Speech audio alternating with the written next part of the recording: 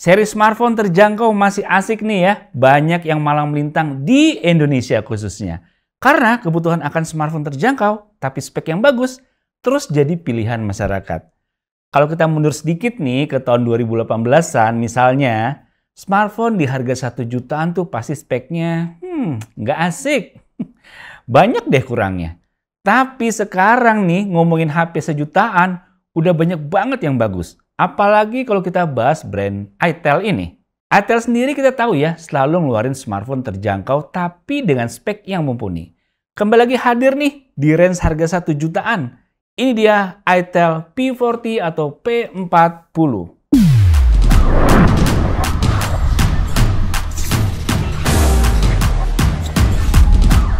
Nah, sebelum kita bahas lebih lanjut, Brand Itel sendiri sebenarnya brand asal negeri Tiongkok nih, di bawah naungan Transcend Holding, yang masih satu saudaraan nih dengan Infinix dan Tekno.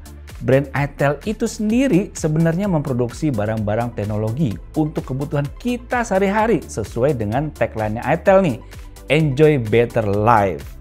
Jadi, dia memproduksi seperti handphone, aksesoris, hingga home appliance seperti Xiaomi lah. itel ini sendiri di Indonesia udah 2 tahun ya, dan beberapa smartphone juga udah sukses terjual dengan baik di sini. Maka dari itu, itel pengen mengulang kesuksesannya dengan mengeluarkan itel P40 atau P40 ini. Sebagus apa dan semenarik apa sih?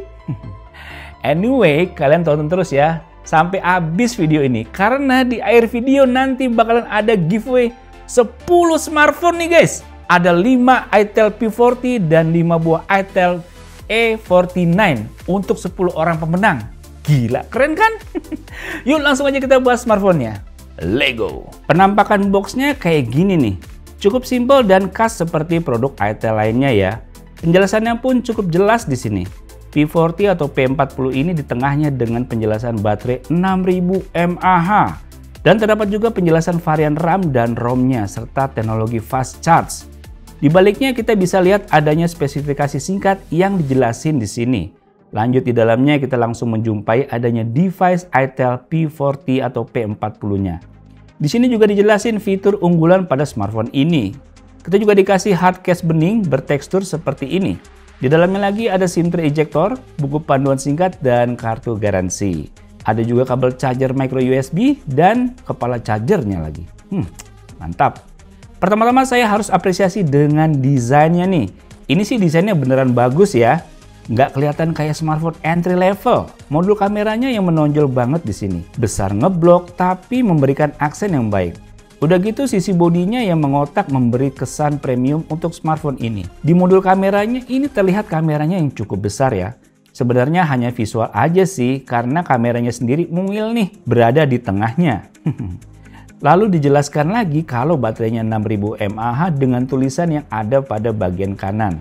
Namun berbanding cukup terbalik nih kalau kita lihat dari depan. Kelihatan banget kalau ini HP entry level ya kalau dilihat dari layarnya. Karena bezelnya kelihatan cukup tebel nih guys dari segala sisinya. Tidak terlalu mengganggu sih sebenarnya dan masih jadi ciri khas entry level ya punya layar dengan bezel yang tebel kayak gini. Layarnya sendiri menggunakan LCD berukuran 6,56 inch dengan resolusi HD 720 x 1612 pixels dan juga support 60 Hz refresh rate.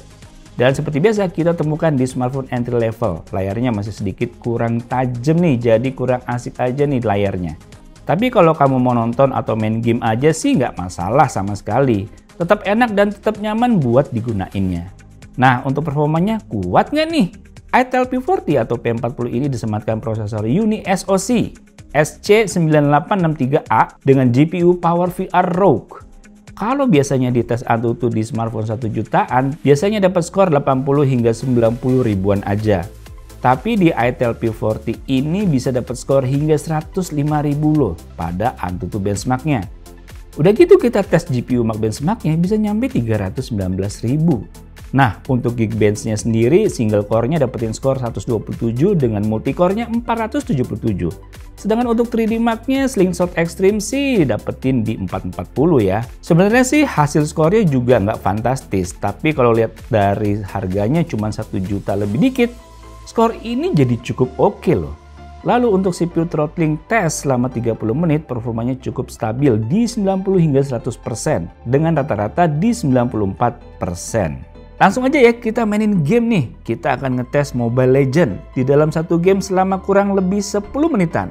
Kita mainin di grafik high dengan refresh rate-nya high. 10 menitan rata-rata di 43 fps. Beberapa kali terjadi drop FPS hingga 37 fps. Masih enak sih buat dipakai main game Mobile Legend. Lalu game selanjutnya yang kita mainin adalah Free Fire.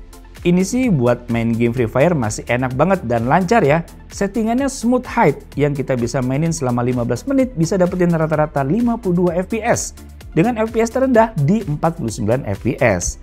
Nah, saya coba juga nih, paksain buat main game PUBG Mobile.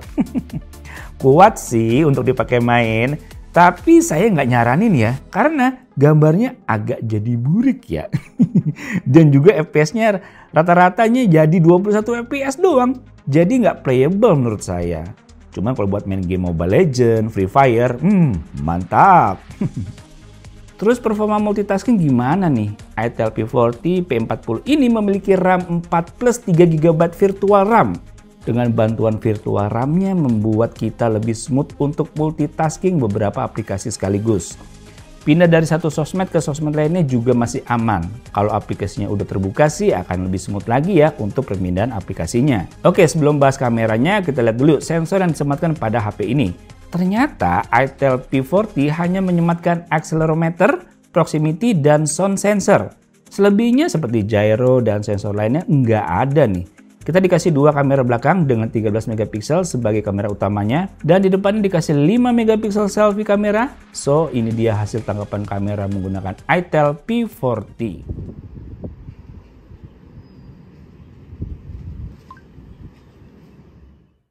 Ya guys, ini saya lagi ngerekam pakai kamera belakang dari itel P40 atau P40 formatnya Full HD di sore hari dan kita lihat nih di sana guys. Wih, tekstur awannya gila keren banget guys. Gila detil banget guys tekstur awannya. Gila keren banget ya. Coba kita lihat menantang matahari di sana. Lihat, menantang matahari. Awan-awannya masih kelihatan jelas guys. Walaupun di sini rada gelap ya di bawahnya ya. Oke, dan kita lihat ke sana. Dan ini kita lihat ada rumput dan kita lihat di sini ada beberapa bunga ya ada bunga warna putih nih bunga warna pink rumput dan kita lihat. Oke.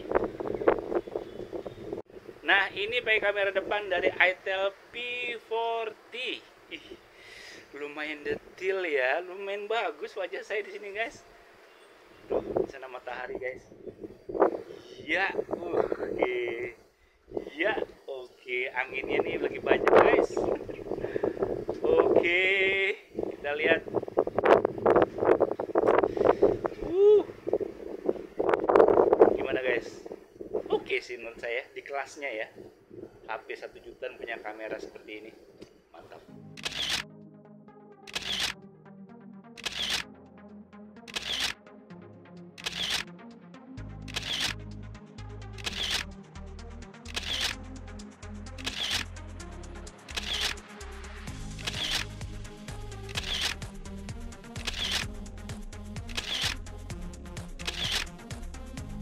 Untuk hasil kameranya agak kurang ya. Mungkin saran saya sih bisa pakai aplikasi lainnya buat ningkatin kualitas kamera dari P40 ini.